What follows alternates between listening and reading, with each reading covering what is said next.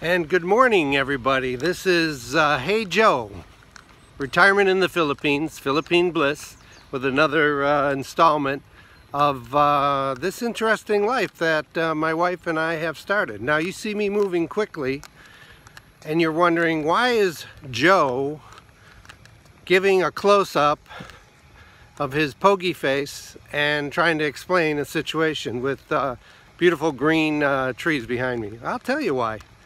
Joe made a mistake yesterday with Mrs. Joe. He was picking up seashells in the seashore and he picked up a shell and lo and behold when he came home to wash the sand off the shells hey now hey Joe picked up a hermit crab a poor little hermit crab named Harry so Harry spent the night in uh, Joe's uh, seashell collection and we are now walking Joe back to the ocean where he belongs. I mean, not Joe, Harry.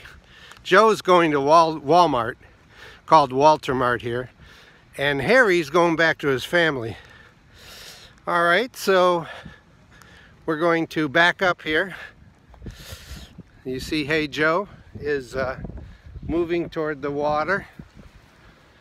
Beautiful morning, but it's getting hot. We're almost there, uh, Harry. Hang in there. I think Harry can uh, hear the water. And we're here. So we're gonna put Harry back where he belongs. There's Harry. Ready to go back to his life.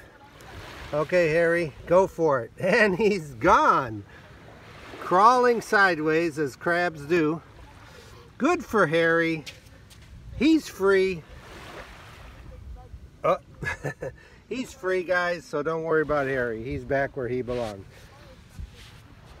And we, oh, there's a super yacht.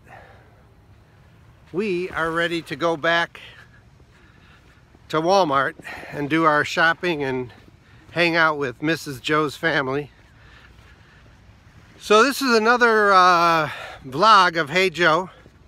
Just wanted you to see that uh, Joe and Mrs. Joe are animal lovers. We're not gonna even sacrifice one hermit crab for the cause. I might eat a lobster or two, but not a hermit crab. That's gotta go back to the ocean. Joe's sorry, and Harry is uh, definitely back where he belongs. So peace out. We're going to see you on another vlog of Hey Joe. Like and subscribe. And everyone, Inget Ka.